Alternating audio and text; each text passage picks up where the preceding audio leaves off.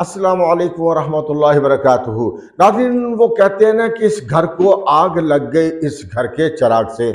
आज मैं एक शख्सियत जो कि मौलाना साहब है और गुजरा वाले के एक बहुत बड़े मदरसे के भी हैं और बड़े जनाब अपने आप को वो मुफ़क्र इस्लाम भी कहते हैं और लोग मानते भी हैं और उनके वाल साहब हैं भी।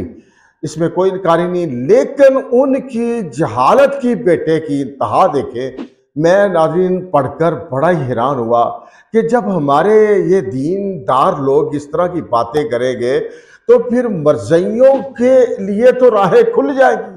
फिर मरजई जो एक गैर मुस्लिम है, अकलीत करार दिए हुए हैं फिर हमारे उलमा की कुर्बानियाँ, नौजवानों की कुर्बानियाँ, इस जैसे लोग साफ़ साहबजादे ज़ाया करते हैं। ये मौलाना अम्मार खान नासिर है नाजिन पहले इसकी ये तहरीर पढ़े जो इसने सरेआम जनाब, ये देख ले पहले। ये इसने सरेआम लिखी है। इसने लिखा जी कि अहल सलाम पर यह ज़िम्मेदारी ज़रूर अदा करें, लेकिन समझ लें कि आयन कानून में दरअसल पाबंदी किस बात की है। ये कादियानियों को मतलब बात हो रही है। या और ये कर रहे हैं।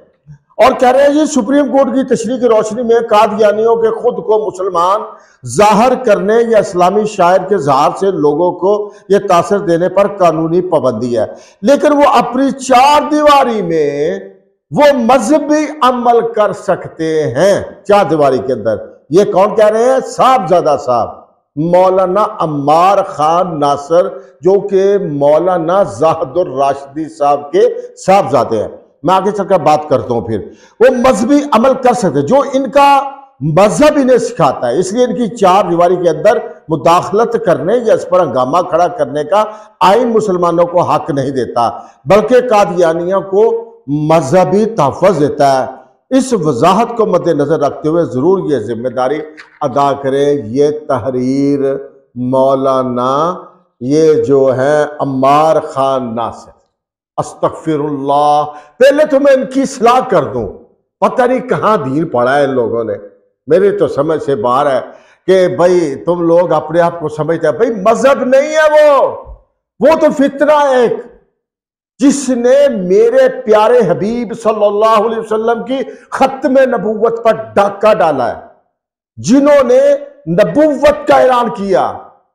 जो कि मेरे आका सलाम के दौर के अंदर मुसैलमा कज़ाब ने ऐलान किया था तो सैदना अबू बकर सदीक रज़ी अल्लाह ने उसका कला किमा कर दिया था, खत्म कर दिया था, उसको इजाज़त नहीं थी थी। तो तुम किस बात पर, मौलाना साहब ये कह रहे हो? तुम्हारा मौकफ तो इस तरह लग रहा है जैसे रला मिला है उधर, कुछ दाल में काला है। और नाजरीन मैं आपको बताता चलू, जो जराए ब्लाग में बताते हैं कि अब बरजई इतने पावरफुल है, पैसा तो उनके पास ही है लेकिन वो इस तरह के जो नई नस्ल के अंदर साहबजादे उभर रहे हैं ना ज़्यादा ये हर जगह बीमारी है, ये साहबजादे जो नई यंग नस्ल है, इनको वो खरीद रहे हैं। ताकि वो आहिस्ता आहिस्ता आहिस्ता अपनी राहें मुआर कर रहे हैं। भाई, जो गद्दार है ख़त्म नबूत का, जो हमारे आइन को नहीं मानता, जो हमारे इस्लाम को नहीं मानता, हमारे दीन को नहीं मानता, उसके बारे में नरम गोशा रखने वाला भी अब उसके ईमान पर तो मैं कराम से ही राय लूँगा कि वो बता दें। अब मैं मुफक्र इस्लाम, मौलाना जहादुर साहब से भी। इस पर अपना कहूँगा कि वो अपना मौकफ वाजे करें कि उनका क्या मौकफ है अपने साहबजादे पर, कि जो साहबजादे ने ये कर कि ये कादियानियों की इस तरह तर्जमानी है, इस हवाला से उनका क्या मौकफ है, जो उनका बेटा ये तर्जमानी कर रहा है। तो ये बात तो अपने बड़े अरसा से अकाबर कह रहे हैं कि आपके अकायद और नजरियात जो हैं वो ठीक नहीं है। लेकिन इस हवाले से इनके वालद मोहतरम के, जो कि मौलाना जहद और राशदी साहब हैं, हमारी उनसे दरख्वास्त है कि हज़रत, आप बताएँ, इस हवाला से आपका क्या मौकफ है, क्या नुकता नज़र है? हालाँकि मौलाना सलीमुल्ला खान साहब रहमत से लेकर सबके समझाने के बावजूद, ये कादियानियत और गामदियत की वकालत से बाज नहीं आते। तो नाजर क्यामत के दिन तो जवाब देना है इनको। मैं तो अपने प्यारे बीब सल्लल्लाहु अलैहि वसल्लम के बारे में जो भी उनके ख़त्म नबूवत पे डाका डाले या कोई गुस्ताख रसूल हो, मैं उसके मुतलक अपना नरम गोशा रखता ही नहीं। चादर चार दीवारी में क्यों करे वो भाई? ये सिर्फ़ राम वार कर रहे हैं उनकी कुर्बानियों की। भाई मज़हब तो मानते नहीं हम उनको।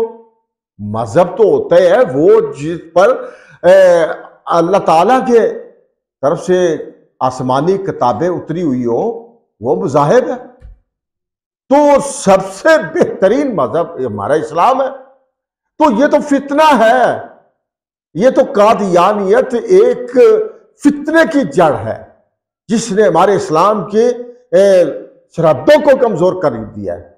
और ये फैलते जा रहे हैं। आपको पता ही नहीं है। ये कितने गुस्ताख है।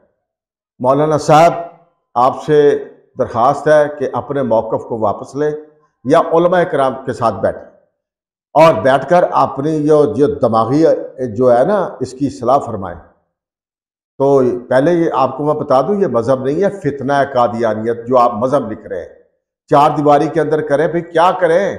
क्यों करें? किस वजह से करें? गुस्ताख रसूल है, उसको इजाज़त नहीं दी जा सकती। हमारे आने वाली नस्लें तबाह हो रही हैं।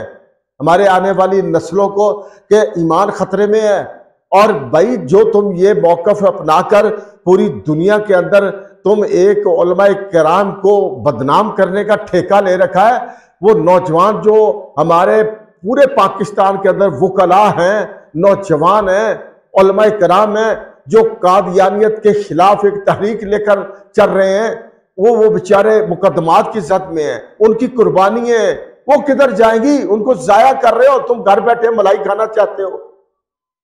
घर बैठे तुम सब चुप चाहते हो। बहरहाल, हम वो बात नहीं करना चाहते जो कि एक जराए ब्लाक कहते हैं। वो पैसे सर्व करते हैं। करते हैं, बिल्कुल हमें पता है। लेकिन बहरहाल ईमान बहुत कीमती चीज़ है। मौलाना अम्मार खान नासिर, से हमें यह तो नहीं थी। ये साहबजादे हैं। देखे, साहबजादा अगर नेक हो जाए ना, इस जैसा वली कोई नहीं है। अगर ये बिगड़ जाए तो फिर हज़रत नूह सलाम का बेटा आपने देखा यह पहाड़ पे खड़ा हो गया। जाओ जी, कहता, मैं नहीं मानता। तो ये ऐसे हैं। तो ये इनका बयान जो है नाजरीन, मैंने आपको बाकायदा दलाल के साथ बात की है। तो ये हमें आयन पढ़ाने लगे हैं। वाह! जिस आइन के बहाली के लिए कितनी कुर्बानी हुई। आज तुम उसको इजाज़त दे रहे हो, चार दीवारी चार दीवारी, क्या वो तो अपने मस्जिद नहीं बना सकते, मीनार नहीं लगा सकते।